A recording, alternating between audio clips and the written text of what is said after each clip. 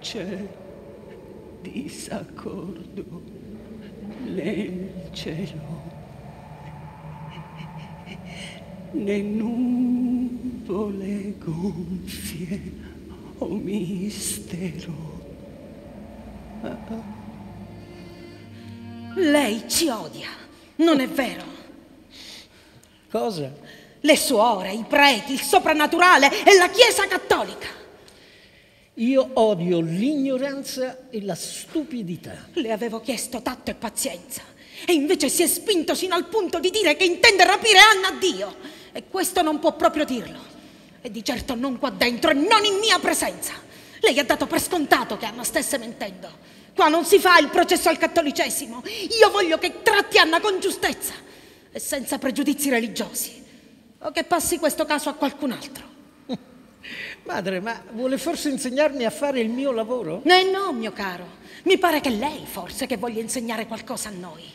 Si ricordi che sono un incaricato dal tribunale. Motivo in più per invitarla ad avere rispetto e a non essere offensivo. Madre, vedrò di dirglielo con calma. Anna ha e avrebbe avuto tutto il diritto di sapere che c'è un mondo fuori, che ci sono persone, madre, che non credono in Dio e che per questo non sono peggiori di lei. Persone che si innamorano, che guardano i tramonti, che hanno dei bambini, che aiutano gli altri, che fanno volontariato, che lottano per la giustizia e l'uguaglianza, che rispettano gli animali, la natura. Persone che hanno passato tutta la loro vita senza inginocchiarsi mai una volta davanti a nessuno e alle quali capiti, pensa un po', alle quali capita di essere felici. Se in ogni pozzo c'è l'acqua, madre, lei non ha l'esclusiva né del pozzo né dell'acqua che contiene.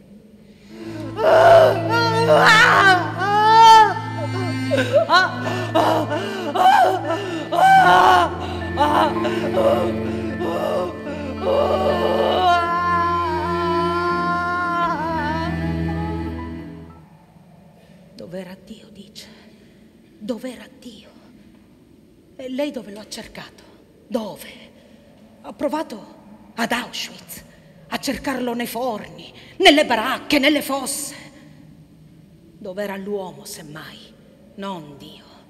E quando dico uomo, includo anche preti, vescovi e persino papi, se la cosa le fa piacere.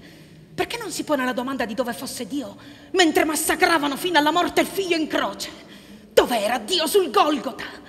Sulla croce Cristo avrebbe dovuto gridare, non Dio mio, Dio mio, perché mi hai abbandonato, ma Dio mio, Dio mio, perché glielo hai concesso. Il libero arbitrio, intendo, dottore caro, così si chiama, e ci fa artefici del nostro agire e del nostro destino. Possiamo scegliere, sì, possiamo scegliere tra il bene e il male perché ci ha lasciati liberi, liberi fino al punto da permettere che il figlio venisse crocifisso.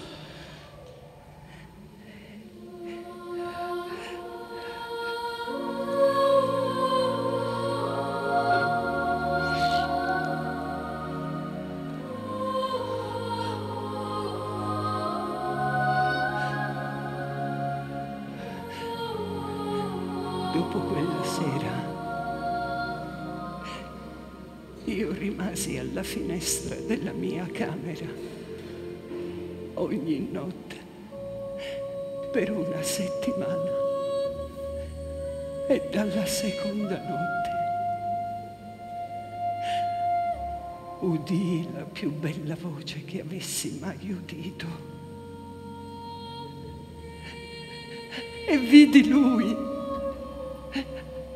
e la luna che splendeva su di lui. Per sei notti lui cantò per me le più belle melodie che avessi potuto immaginare. E alla settima, l'ultima, aprì le sue ali e venne a posarsi su di me. E non smise di cantarmi sul cuore finché non fu l'alba. Poi, leggero come il vento, volò via. Nasceva un giorno nuovo.